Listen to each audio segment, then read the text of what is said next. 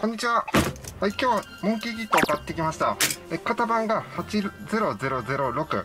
で、パッケージ表がこんな感じで、はい、付属するミニフが、メイとモンキーキット、あと敵が2体っていう感じですね。で、まあ、パッケージを見た感じ、まあ、最有機っぽいんですけど、はい、なんか最新のハイテクなマシンも付属してますね。で、パッケージ横がこんな感じ。まあ、アニメですよね。まあ、普通にいい感じかなと思いますね。で、な特に、はい、こちらのミニフが結構かっこいいですよね。はい、反対側、メイがいますね、メイ。孫悟空。まあ、中国語か日本語か、どっちでしょうね。まあ、これ日本語で書いてますけど。で、パッケージ裏。まあ、かっこいいですよね。で、このバイク、まあ、結構小型のバイクで、忍者号のウルトラドラゴンのパーツを使ってますよね。あと、はい、ホバーボードが金トーンか何かちょっとまだわからないんですけど、モンキーキットの乗り物も付属してます。あの、パーツ数が259に対して部品の袋が4つあるんですよね。まあ、つまりどういうことかっていうと、もう組み立て難易度がめちゃくちゃ低いってことですね。まあ、本当に子供供向けの仕様っていう感じではありますね。ただ値段は子供向けではないですよね。値段はどちらかというと大人向け。で、説明書が2冊と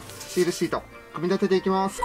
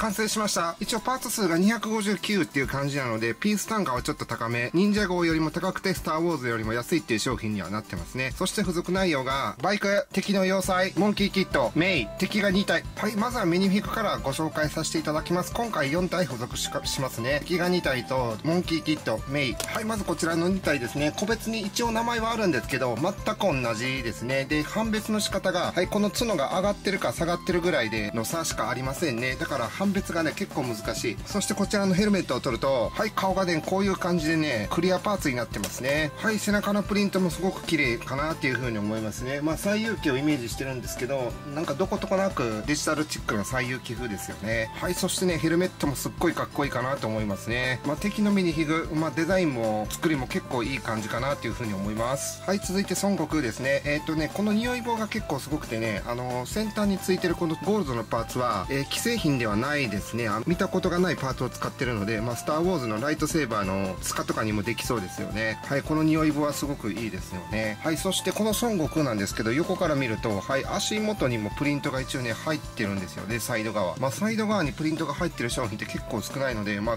結構力は入ってる商品かなっていうふうには思いますね。でまあ多分孫悟空とは思うんですけどまあ現代風の結構ハイセンスなファッションしてますよね。うん普通におしゃれかなっていうふうに思います。そして髪の毛についてるバンダナにもちょっとプリントが入っていていい感じではありますよね。で2フェイスなので1つ目の顔がこういう風に笑ってるような顔ではい2つ目の顔が凛々しい顔になってますね。そしてヘッドパーツのバンダナの後ろはなんか結び目があります。そして背中には猿のプリントがありますよね、まあ、個人的には笑ってる顔が好きです。はい一応こういうホバーボードがありますね。でホバーボードに乗せるとはいこんな感じですね。そしてホバーボードをよく見ていくとはい両サイドにシールが貼ってますよね。そしてフルプリントのパーツが123各4つついてるっていう感じではいあとまあこちらは好きなように角度調整ができる。そしてこのホバーボード結構よくできてますよね。まあ忍者号のホバーボードと比較してもまあ結構クオリティは高いのかなっていうふうに思いますね。まあコストも高いでしょうしまあ結構それなりにいいものではあるのかなっていうふうに思いますね。はい続いてメインですね。あのよく見てみると胸元にドラゴンのプリントが入ってるんですよね。だからドラゴン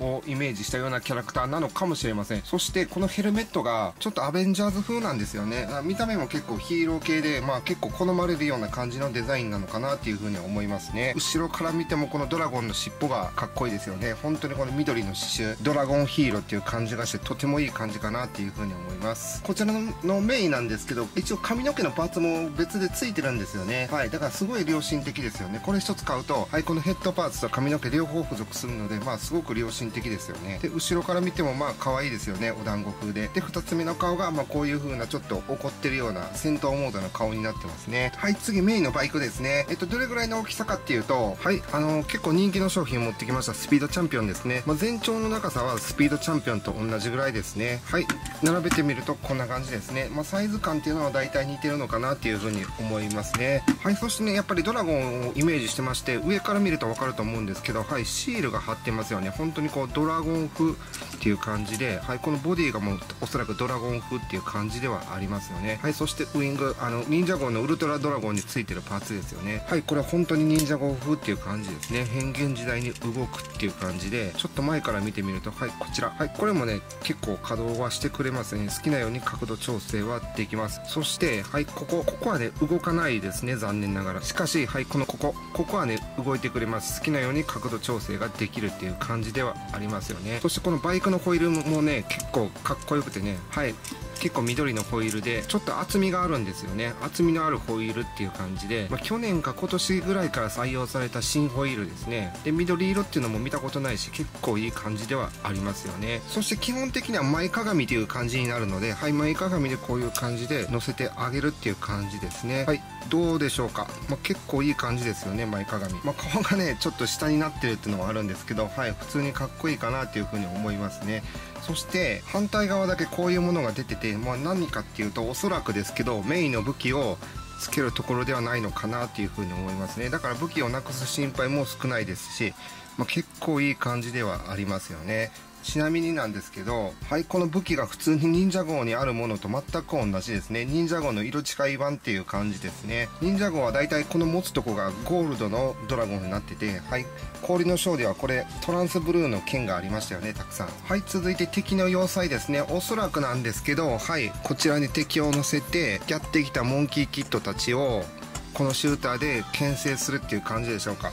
はい。でこちらもう一体敵いますよね。でこういう感じで迎え撃つ。そして柵がありますよね柵。そしてバイクでこう突っ込むっていう感じではないんでしょうか。ただこの状態だとぶつかってしまうのではい。後ろのこのレバーを上げてあげるとこれが開きますね。だからこう突っ込む前にこう上げてあげて突っ込んだ風っていうような感じで遊べるのかなっていうふうに思いますね。はい。そしてねこれはねシールですね。これ一面全部シールっていう感じですよね。でその隣にははいシューターがあって敵をこういう感じで乗せるっていう感じではありますよね。はい360度好きなように回ってくれてあとはスタッドシューターで打つっていう感じですね。で反対側にはちょっとした塔がありますよね。で旗があります。この旗も結構よくできていますよね。まあ牛っていう感じでしょうか、まあ、いい感じですよね。本当に牛っぽい旗がありますよね。そしてこの後ろを見ていくとはい一応こういう感じにはなってますね。でおそらく捕まえたモンキーキットとかメイをこう閉じ込める牢屋なのかもしれませんよね。ちょっとしたセットではあるのかもしれませんけどまあこういうのは嬉しいですよね。いかがだったでしょうか？以上レゴモンキーキットホワイトドラゴンフォーツ80006パート数259でした。ご視聴いただきありがとうございます。バイバーイ。